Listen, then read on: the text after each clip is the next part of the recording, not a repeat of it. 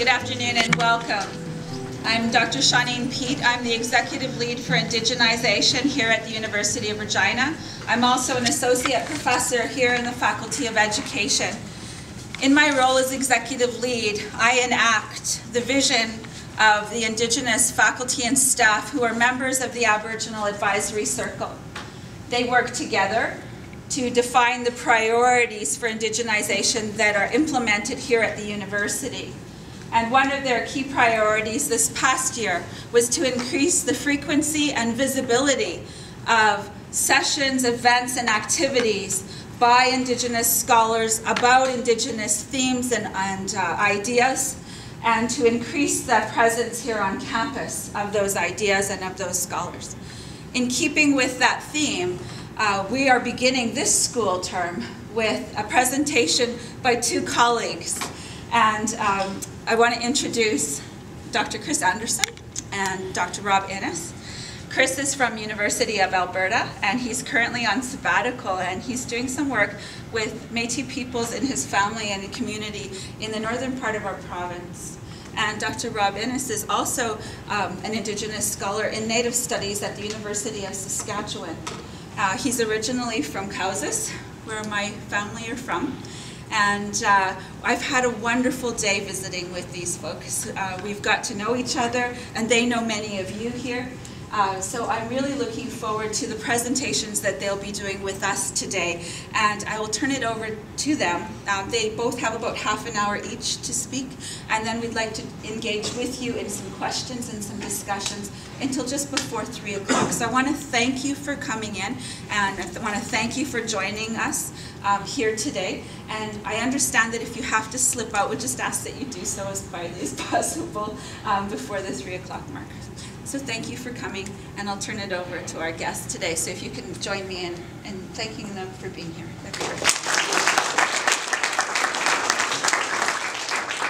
Uh, I'd like to uh, begin by acknowledging the being on the Treaty 4 Métis territory, homelands. It's good to be uh, in the territory. I am a member of Cowessess First Nation. Uh, although myself, I grew up in Winnipeg, that's where I grew up. Uh, my family uh, were Palches and Wapamoose and, and uh, Lavalis. Those are my family members from, uh, from. I'm going to talk today a little bit about my, my book. This is the, the book that I did my, this is what my uh, PhD research, this was my PhD research. Uh, I was looking at uh, contemporary uh, temporary, contemporary kinship, how, how it works, how, and try to explain how it works with Cowessess people. And um, so, and I did this, this research, I did um, uh, back in around 2003, 2004 is when I really uh, undertook the research. Now the reason why I was, I was interested in it uh, was, there was a, couple reasons. Firstly, um, uh, I was a, uh, I grew up in Winnipeg, and how I ended up, uh, our family ended up in Winnipeg was my grandfather, Samson Peltier, after he came back from the war, apparently he was the first from the community to, from Cowessess to, to enlist.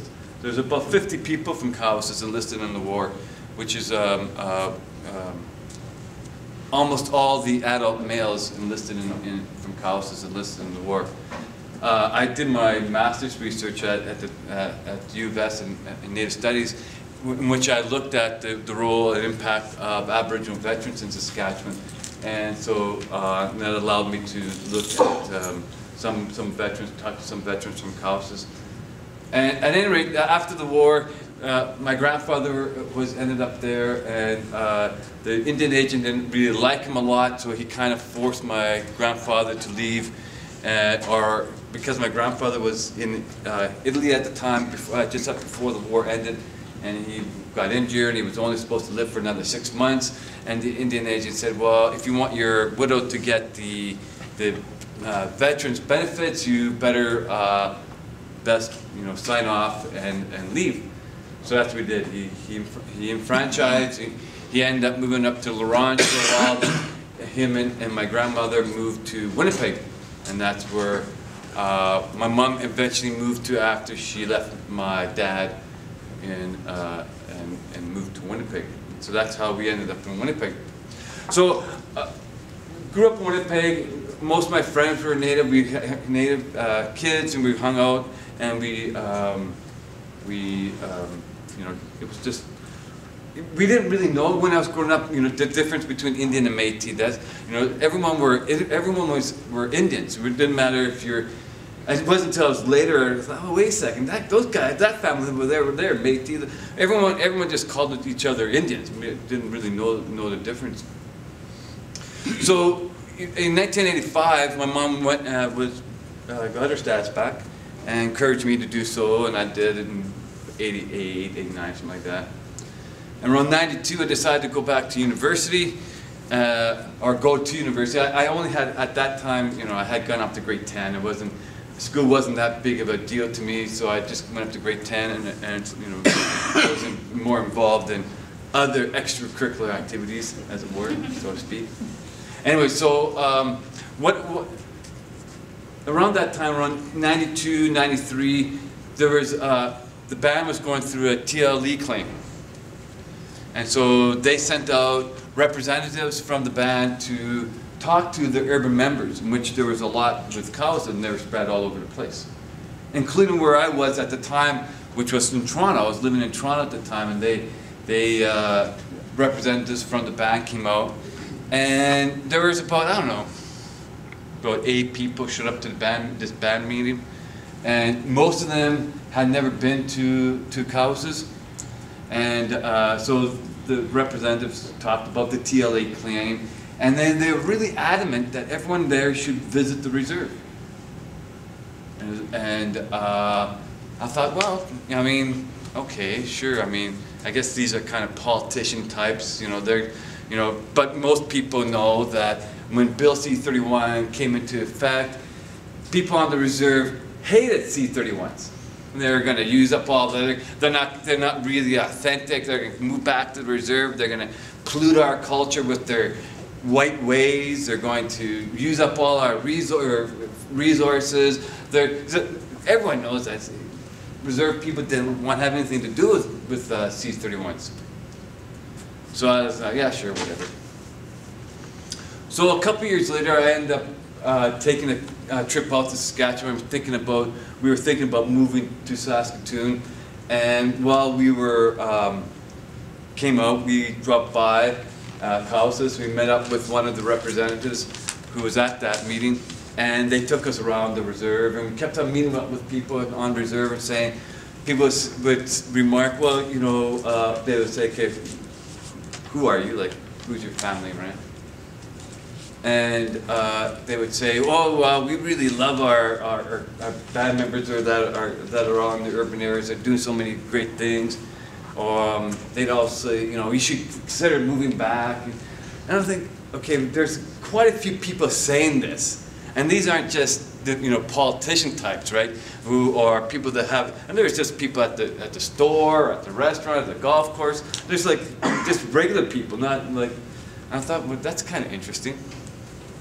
And while I was doing, while I, I came to U of S and I was doing my research, I was talking to uh, um, one of the veterans who was my grandfather's cousin, first cousin, uh, late Edwin Pelche. So I was talking to him, and his daughter was there, and you know the his daughter was saying, um, you know, again they wanted to know who I was, and I told them. and I, I asked if they knew the this uh, my aunt who lived in Broadview.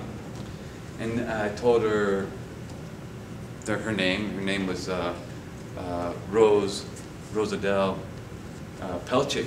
And they said, uh, no, they don't know. I said, well, they, they, people know her as, as the bag lady.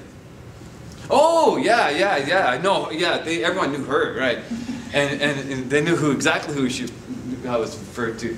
And so that, that my aunt then was uh, uh, uh Edwin's daughter's uh, second cousin. So he, she then turns to his, to her son and says, next time you see her, shake her hand. Now my, my, my aunt was, as you can imagine, she was known as the bag lady. And there's a reason why she was known as the bag lady, because she, she had, she had some, uh, um, how do you say? Mental problems? mental problems. She had some mental problems. She and and she had been on the streets in Edmonton for many many years. She was she had been alcoholic. She'd been. I mean, she was a bag lady because she she wore a toque and and a parka and a bund and, and uh, had a bundle buggy all year long, right? And so, uh, but that didn't matter. All that didn't matter. What mattered at, after that point was that she was a relative and that she needed to be acknowledged as a relative by her relatives, right? So you shake her hand and you, because she's your relative. So even though I was there doing my research on veterans, I started to think, well, you know, this is pretty pretty interesting because, you know, they're they're not related to me like at C31 for one thing, right? And uh, uh, even though you know I grew up in Winnipeg with all a bunch of uh, Native people were you know friends and, and you know and I saw how people interact with each other in the same way that they that other First Nations were uh, portrayed as being in the newspapers and the media, right?